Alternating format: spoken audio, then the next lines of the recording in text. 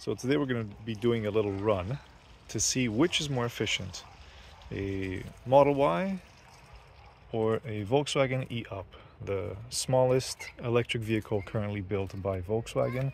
It shares the platform with uh, Skoda and Seat, but nevertheless it is a Volkswagen Up electric, uh, 80 horsepower, and then we have a brand new Model Y, well, three months old, and we're gonna go for about a 50 kilometers trip that is basically half highway, half city. It does go up and down, so on the way back, we're gonna have very low consumption, both of us, because the uh, recuperation is gonna do a lot of um, recuperating. but in the end, we'll see which one's more efficient. A big family SUV or one of the smallest electric vehicles you can get currently in Europe. Uh, one major difference between them, aside from you know the horsepower, the weight, the size, etc., is that the e-up doesn't actually have any active cooling for the battery, so it's just a battery. That's it. While the Model Y obviously has a lot of active cooling and a lot of extra things going on. But so it's a, it's a much simpler vehicle, but it's uh, very good. So we've had these things for we have two of them, had them for over three years, and they've done a great job. And uh, their, their efficiency has always been fantastic. So let's see which one wins. Okay, so here we are inside the Tesla. Uh, we're gonna go ahead and reset trip A. Okay, there we go. And uh, temperatures on 22.5.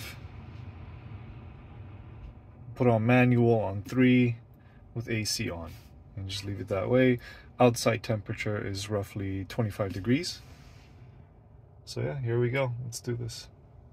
So we've done seven kilometers. Uh, average consumption is 168 watts per kilometer. And we're just about to go on the highway. And this is where things might get interesting. But yeah, so far so good.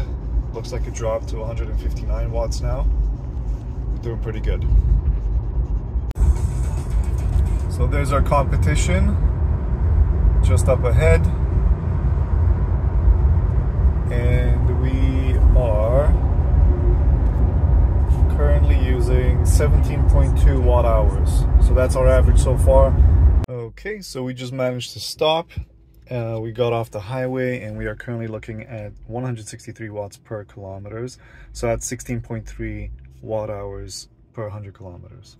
Not bad, not bad. Let's see what the up got.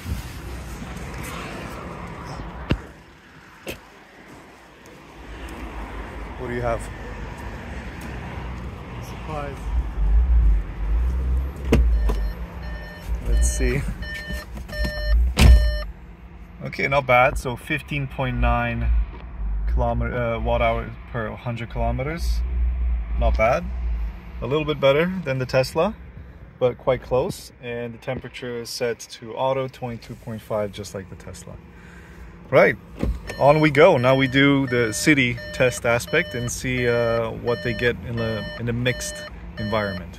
So the previous drive was basically highway only, and now we're going to be doing, uh, well, B roads, I guess you could call them. Uh, top speed on these roads around 90 kilometers per hour. We're just going to basically stick with the traffic and see where that gets us. So we're just going through a city and there's a bit of stop and go traffic. Uh, going a little bit slow. But it's only about 10 kilometers, then we're back on the E road, the European roads. Now enter the roundabout and take the second exit. Okay, so now we're back in the city. We had a bit of a situation where the up reset his trip a little sooner than he was supposed to. So we both reset a little while back. So we've driven in trip A 16 kilometers and our average right now is 22 watt hours per kilometer, meaning 2.2 kilowatts per 100 kilometers. So I think that's pretty good. There was a bit of downhill, so that's definitely why. But we have another about seven, eight kilometers left, and we'll see what we get when we uh, when we stop. Okay, so uh, now we've done a few more kilometers. So looking at trip A, we're at 24 kilometers. and uh, so far the average is 59 watt hours per kilometer meaning that's uh, 5.9 kilowatts per 100 kilometers. So that's, that's pretty good. Obviously you know there was that bit downhill. Um, I guess at the end of the day we'll just compare with the up and we'll just see what the difference is see which one uh, did better okay so we've come to a complete stop and uh, let's see what we have so trip A, 27 kilometers, 6.4 kilowatts per 100 kilometers. Now let's have a look at the up.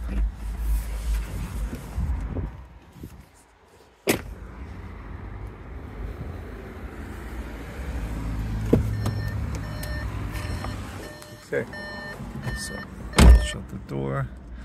5.7. So that's a little lower, but very close. So that's roughly what 0.6 kilowatt hour difference for a vehicle that is much much larger and uh, obviously much more powerful. This one has 80 horsepower. The model y has 300 in terms of weight i believe this weighs 1200 kilos and the model y i weighed it myself weighs 850 860 kilos. So yeah the up is more efficient basically uh, but not by much. We're talking well under 10%. Actually, it's about, well, in this particular case, it was 10%, but nevertheless, the difference is quite small considering the size of the vehicles. Um, they've both done very well, and uh, I'm not sure who's the winner. I guess the up is the winner, but at the same time, the Y is the winner for how efficient it is, considering its size, power, weight, etc.